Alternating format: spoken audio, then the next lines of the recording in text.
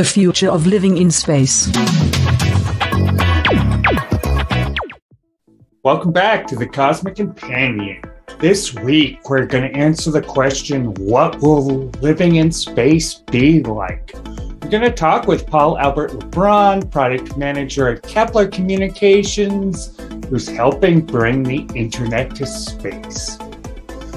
As our species begins to move beyond our planetary cradle, what will life be like for the first generations of humans living in space?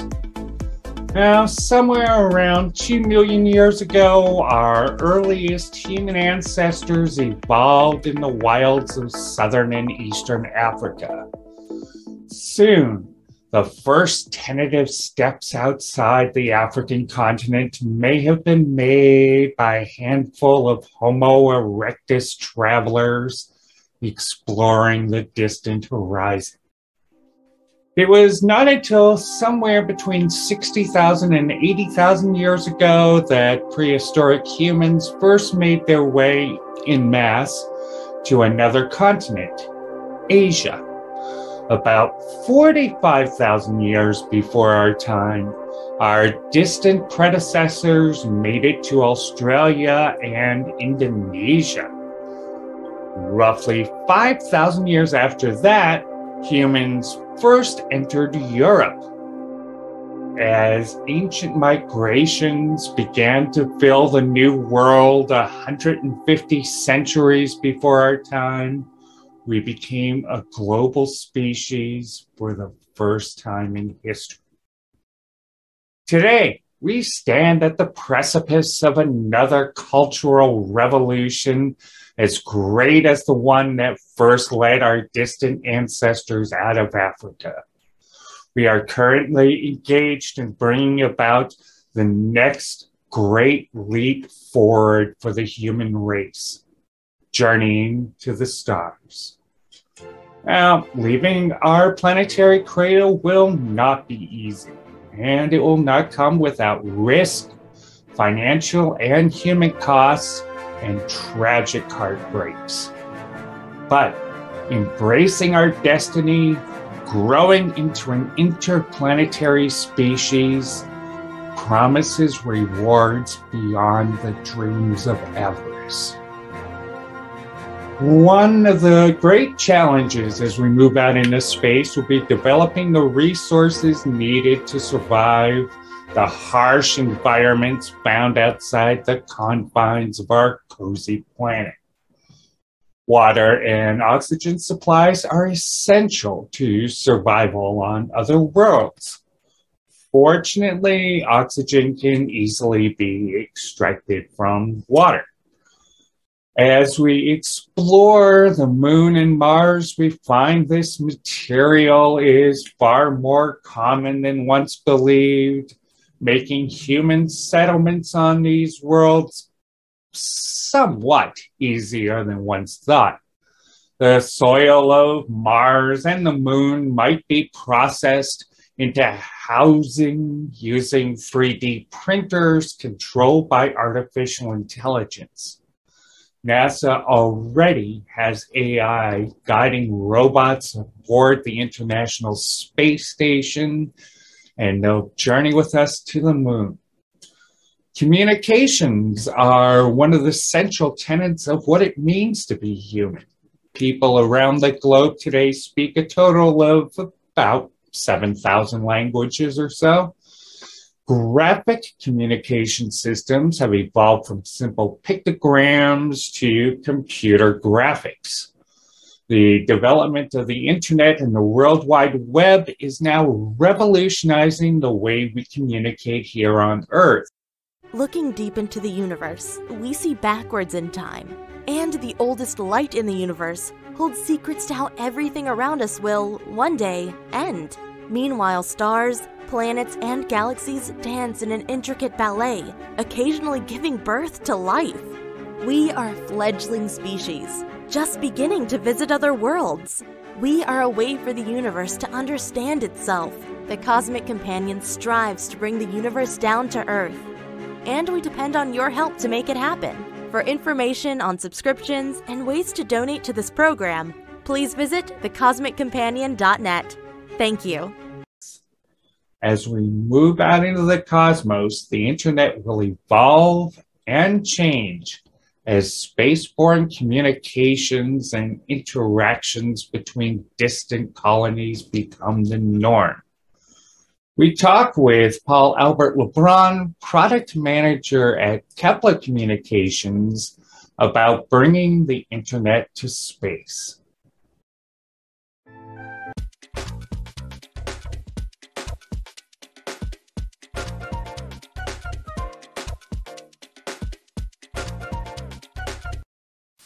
This week on the Cosmic Companion, we're happy to be joined by Paul Albert Lebrun. He is product manager at Kepler Communications, and they're on a mission to build internet in space.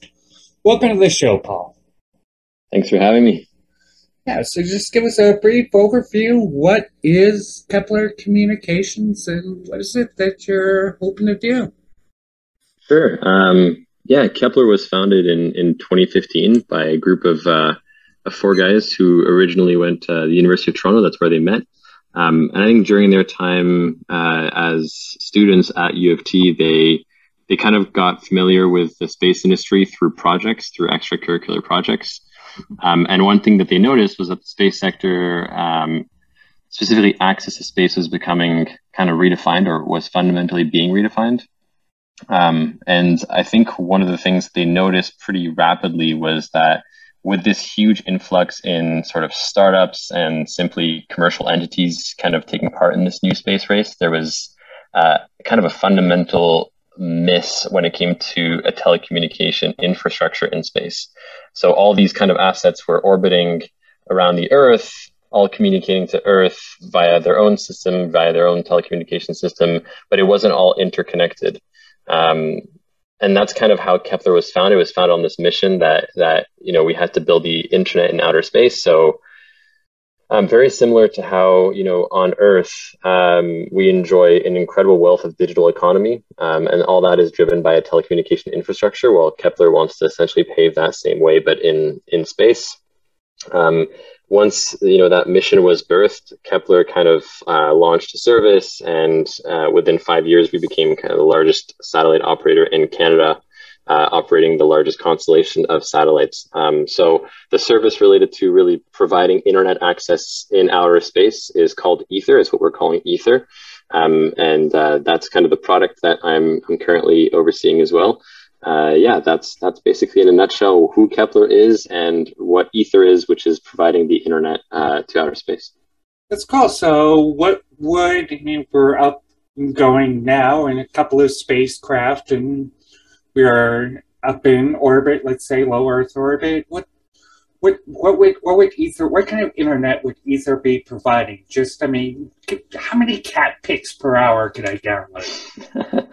That's an excellent uh, question. Um, right. So the way that we see it is, you know, if you think about the experience of getting onto a network right now, like if, if you had your cell phone and I told you, you know, go go get on the network and start using 4G or 5G, you'd start with going to get a terminal, right? Like you'd get a, a, SIM card that you put into your phone, you'd turn on your phone, and your phone would kind of automatically connect to the network. And those that network is essentially a bunch of cell towers, right, uh, that are distributed uh, around the Earth. Um, so we're thinking of it very similarly, right? Like we give you a, let's call it to simplify it, a SIM card that you would place into your satellite. You go into low Earth orbit. Um, we have then an infrastructure in low Earth orbit, essentially Kepler satellites that are all interconnected one to the other, um, acting as kind of cell towers, but in space. Um, and you would simply just connect to the network just like your cell phone would connect to the cell towers here on Earth. Um, and at that point, you'd, you'd, be able to do anything from, if you're familiar with um, SSHing into your satellite, you'd be capable of doing that in real time. Um, and the way we see it is that there's really kind of a need for both a low data rate kind of option and then it, and then also a high data rate option. So there'll be both uh, options, um, kind of depend on the technology that you can put on your spacecraft. It's fabulous. How, how do you see that evolving over time? Yeah, so um, today the the kind of the fundamental bottleneck that we're solving um, is that of uh, access to spacecrafts within low Earth orbit. So today, when a satellite goes around the Earth, as you probably know, it's in low Earth orbit. It takes about 90 minutes, right?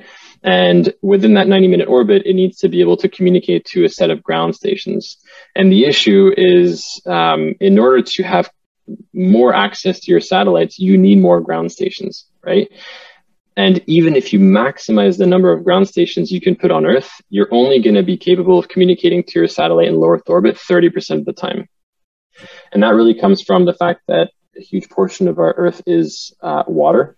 Uh, there's also mountains and there's regulatory challenges. So the first step is kind of how do we fill in the gap of 30%? If, if 30% is the, the amount of time that you, maximum amount of time that you can communicate with your satellite and you have a ground station network in low Earth orbit, um, we want to make that go up to the 99 percentile, right? Um, how does Ether evolve over time? Um, Ether becomes kind of the internet infrastructure in space for not just Earth and low Earth orbit, but beyond that. So beyond that orbit, all the way to the moon or other sort of celestial bodies. If that makes sense. That's fabulous, and you're also able to use your network, as I understand it, to better deliver communications and information uh, let's say among ships and and transport right. vehicles as well here on Earth. Um, right. So, uh, I mean, I can talk about some of the applications of our Ether network. Um, one of the things that we really like to stress is, you know, as we develop this infrastructure in space, it's kind of allowing for other uh, companies to deliver on their missions as well, right? So, an example would be if you have a, an Earth observation satellite, right? Your satellite, uh, its main mission is to take images of things like forest fires or or any sort of disaster, be it like a tsunami. And your value proposition is to deliver that imaging to people on Earth so we can make decisions faster. So let's use the example of a forest fire. You take an image of a forest fire today and you have a very good photo of what that forest fire looks like the bottleneck comes down to bringing that photo back to earth so that decisions can be made, made on the fly as to you know what do we do with respect to that forest fire. What we want to do with ether is is give that image in real time. You take an image with your satellite and instead of waiting for that image to come down through multiple different passes over ground stations it's instantaneous. You get the image you can make decisions on the ground. So that would be a type of application that that you could you could sort of see within Ether, and obviously that expands to um, any sort of satellite that that produces data in space and needs to bring it back down to Earth. And um, so, how are you over, or how are you overcoming that thirty percent limit? Are you relaying that information between satellites before it comes back down to ground stations, or how does that work? Right. Yeah. Um, the other sort of term for what we're doing is called is data relay network. Um, it's essentially every satellite that we have in low Earth orbit is interconnected. And so if one customer is connected to one of our satellites, it's connected to all of our satellites. And so at all times, there's at least one Kepler satellite that will be on top of, you know, the 30% of the ground stations, thereby making it, you know, 99% available for customers. If they're connected to one, they're connected to all, and so they're always connected to a ground station. And you know, as you mentioned, the differences and the changes brought about in space exploration by the rise of private enterprise and um, different organizations putting now you know, thousands of satellites into orbit. And uh, how, how does your system work with um, having all these pieces up each trying to navigate navigate around around the orbits and dodging out of each other's way. Um, well, so our satellites will all be kind of well separated and everything. And if your question is mostly related to, you know, as we see kind of this rise in in um, satellite technology and the barrier to space becoming kind of more and more, uh, or lowering, sorry, the, the barrier to space. And so we're going to see more and more entities in space. Um, you know, what we believe when it comes to uh, collision avoidance and just risk mitigation in general is that actually our Ether network is going to help with that. Um, I think the the example I can come up with is it's like when planes used to fly without what's called ADSB, which is kind of how uh, the the control towers get to see where the the planes are, so you can mitigate risk and you can kind of map it all out. Um, the way we see it is that if you're carrying our you know SIM card, as we like to call, or as the analogy we've used, um, then we can map out where you are in the orbit, uh, and we can help with risk mitigation in orbit. So we really want to be uh, part of the solution towards uh, awareness, uh, space situational awareness, uh, and kind of help towards mitigating risk in space. And we do believe that our Ether network is going to help with with that specifically. Yeah. And I, um, you know, I personally just love the connections between oceans and space. Mm-hmm. You know, and you know, as ships are out exploring uh, exploring the oceans, exploring the you know ocean floors and the sea life, and you're also going to be able to uh, assist them with data, correct, with managing those operations and expanding right. science. So today we have a we actually have that capability today, uh, right? So Kepler has 19 satellites in space. Um, we are capable of essentially doing what's called a store and forward or delivering a store and forward type service um, that we called global data service. Uh, essentially, it's kind of like a USB stick in space. So to your point, uh, some of our customers have been, you know, uh, polar research vessels that go up in the, the North Pole and, and they kind of put themselves in the ice and, and see how it moves over the year. Um, and they want to send all the, the data that they're generating, they want to send it back to the lab for processing. And today the solution would be either wait until the mission is done and then process it after the mission, um, or it would be sending over helicopters to pick up physical hard drives to bring it back and then make the kind of do the research back on Earth um, or back, sorry, on the uh, in the lab. So what we provide is kind of a store and forward service where if you're on the vessel, you can put all this data on our satellites and we can move it to another location um, for the those kind of missions. Yeah. And finally, what's what's next for Kepler Communications? What should people be on the look on be on the lookout for from you folks? Uh, yeah, I mean, as I said, I think Kepler right now is really focusing on delivering on Ether as a service.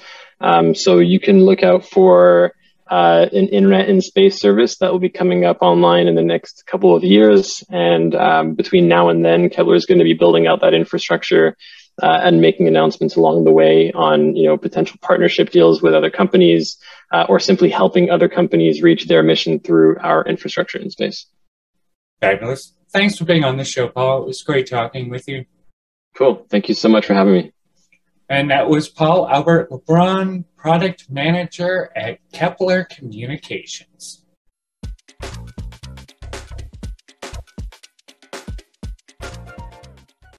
Since 2000, the International Space Station, or ISS, has supported rotating crews remaining occupied uh, for well over two decades. The only group to have so far placed humans on the moon, NASA, now readies to place human beings once again on the face of the moon in the coming years. The space agencies of China and Russia are discussing plans for sending settlers to the moon living inside the International Lunar Research Station.